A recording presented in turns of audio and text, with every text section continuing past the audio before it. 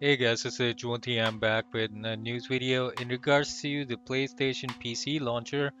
Now, as you probably have noticed or you probably have heard about the news that Spider-Man came back on PC for the first time, and um, the data miners they always check the files and everything. So somebody was checking the files, and uh, what they found was that there are some signals in the coding uh, about a PC launcher that might actually come in the future for PlayStation PC. So uh, that's probably in the uh, plans for PlayStation as well. Maybe they want to do something like Ubisoft or Rockstar and launch their games using their own launcher, which is not actually a bad idea. So references to a PlayStation PC launcher have been found within the files of Marvel Spider-Man Remastered, which launched on PC last week, suggesting that such a platform could be in Sony's future plans. I think this is a good idea so they could uh, make their games visible or playable on PC as well, but they will have still some kind of control on the games where it can only be launched using their launcher. So they will have more control over the games as well. I think this is one of the good things.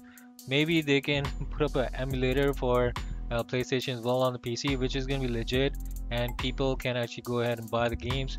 That's going to be like a PSN PlayStation whatever. So PC I think that's going to be a good idea if they can do it. So this was the discovery that Sony could be planning to introduce PlayStation Network integration to its PC games as well.